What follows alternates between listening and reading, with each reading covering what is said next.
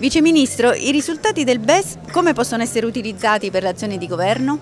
Allora, noi abbiamo l'opportunità in Italia, per primi nel mondo, di poter non soltanto avere un apparato statistico all'avanguardia, quello del benessere equo e sostenibile, ma anche di avere una norma per cui è previsto che entro l'inizio dell'anno il governo debba fare delle simulazioni della legge di bilancio, basandosi sugli interventi legge di bilancio, simulazioni dell'impatto che questa legge potrà avere sulle dimensioni del benessere. Ecco, questo secondo me è un modo ottimo per, fare per far sì che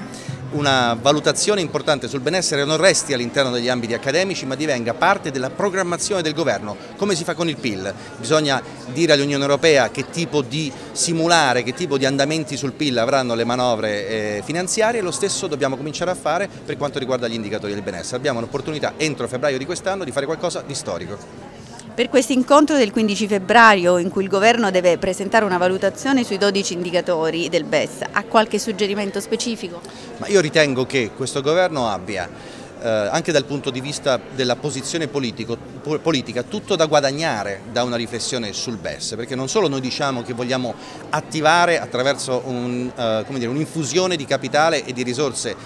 tra le imprese, soprattutto le piccole e medie imprese e le famiglie, a riattivare la domanda aggregata, ma anche fare in modo che ci sia una ricaduta eh, positiva su una serie di dinamiche non monetarie, cioè per esempio sul benessere territoriale, sulle condizioni familiari, sulla dispersione scolastica, sulla diminuzione delle disuguaglianze e della povertà. Ecco, noi dobbiamo sfruttare il fatto che oggi abbiamo un apparato di indicatori che è in grado di fornirci informazioni per fare in modo che le nostre politiche siano valutate non soltanto sulla crescita come tale, ma su una serie di dimensioni ulteriori e che possano essere migliorate nel tempo sulla base delle informazioni che ci vengono anche da indicatori come il PES.